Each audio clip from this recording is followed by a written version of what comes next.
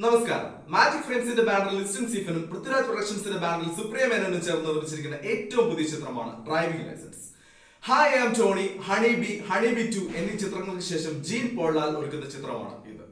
Honey bee honey bee two hi am Tony എന്നീ ശരാശരിയിലും താഴെ നിൽക്കുന്ന ചിത്രങ്ങളുടെ സംവിധായകനായ ജീൻ പോൾലാൽ പൃഥ്വിരാജിനെ പോലൊരു നടനുമായി കൈകോർക്കുന്നു എന്നതായിരുന്നു ഈ ചിത്രത്തിന്റെ ഏറ്റവും വലിയ കൗതുകങ്ങളിലൊന്ന് രണ്ടാമത്തെ ആകർഷണ ഘടകം എന്ന് പറയുന്നത് പൃഥ്വിരാജും സുരാജ് വെഞ്ഞാറമ്മൂടും തുല്യ പ്രാധാന്യമുള്ള വേഷങ്ങളിൽ എത്തുന്നു എന്നതാണ്.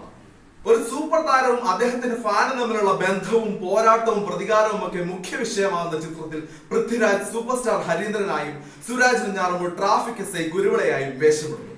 ഒരു സൂപ്പർ താരത്തിന്റെയും അദ്ദേഹത്തിന്റെ ആരാധകന്റെയും ജീവിതത്തിൽ ഉണ്ടാകുന്ന പൊല്ലാപ്പുകളാണ് ചിത്രത്തിന്റെ മുഖ്യ പ്രമേയം. അഭിനയം പോലെ തന്നെ പ്രിയങ്കരമാണ് ഹരീന്ദ്രന് കാർ റേസും ഡ്രൈവിംഗും അദ്ദേഹത്തിന്റെ ആരാധകനായി എസ് ഐ കുരുവിളയായി സുരാജ് വെഞ്ഞാറമ്മൂർ വേഷമിടുന്നു. പുതിയ സിനിമയുടെ ചിത്രീകരണവുമായി ബന്ധപ്പെട്ടാണ് തന്റെ ലൈസൻസ് കാണാതായ വിവരം ഹരീന്ദ്രൻ അറിയുന്നത്. ഇതിനെ തുടർന്നാണ് എസ് ഐ കുരുവിളയെ ഹരീന്ദ്രൻ സമീപിക്കുന്നത്. പിന്നീട് ആരാധകൻ തന്നെ തന്റെ ഏറ്റവും വലിയ ശത്രുവായി മാറുന്നതാണ് നാം കാണുന്നത്. ഇവിടെയാണ് ചിത്രത്തിന്റെ വഴിത്തിരിവ്. ഷാറുഖ് ഖാന്റെ സൂപ്പർ ഹിറ്റ് ചിത്രം ഫാനുമായി പ്രമേയപരമായി ചിലയിടത്തെങ്കിലും സാമ്യം തോന്നാമെങ്കിലും ഡ്രൈവിംഗ് ലൈസൻസ് തികച്ചും പുതുമയാർന്ന മറ്റൊരു കഥയാണ് അവതരിപ്പിക്കുന്നത്. എബോ ആവറേജ് ഫീൽ നൽകുന്ന ഒരു ഫസ്റ്റ് ഹാഫ് ആണ് ചിത്രത്തിന്റേത് സിനിമാ താരങ്ങളെ ആദ്യമായി അടുത്ത് കാണുമ്പോഴുള്ള സാധാരണ പ്രേക്ഷകരുടെ പ്രതികരണമൊക്കെ മിയയുടെയും സുരാജിന്റെയും കഥാപാത്രങ്ങളിലൂടെ നല്ല രീതിയിൽ തന്നെ സംവിധായകൻ അവതരിപ്പിച്ചിട്ടുണ്ട്.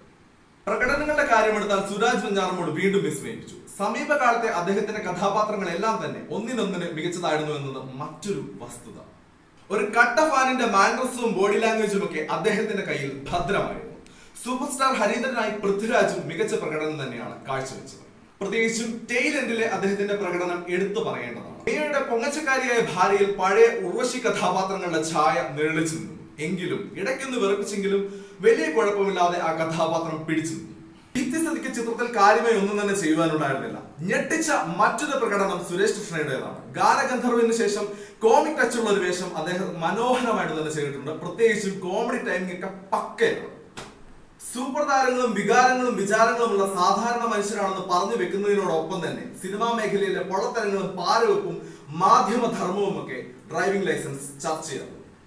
എങ്കിലും എല്ലാം മികച്ച രീതിയിൽ തന്നെ സ്ക്രീനിൽ എത്തിക്കുന്നതിൽ തിരക്കഥ ചിലയിടത്തെങ്കിലും പരാജയപ്പെടുന്നുണ്ട്.